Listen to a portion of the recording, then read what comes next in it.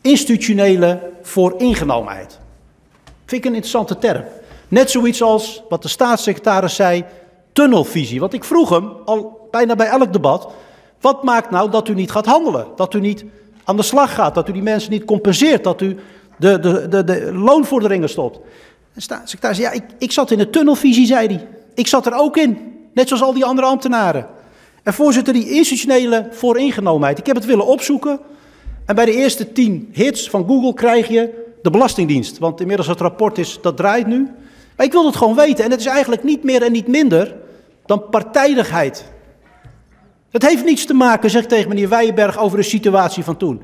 Het is gewoon partijdigheid, omdat er iemand voor je snuffert staat waarvan jij denkt, nou, dat zou wel eens een fraudeur kunnen zijn. En dus is dat zo. En dan zoek ik naar alles in de bewijzen om te zorgen dat het ook zo is. En ik hou dat vol. En voorzitter, ik vraag aan de staatssecretaris, mijn laatste vraag, want ik rond af, is waar kwam die partijdigheid vandaan? Was dat omdat deze mensen een andere afkomst hadden wellicht? Ik weet het niet. Omdat ze een andere naam hadden?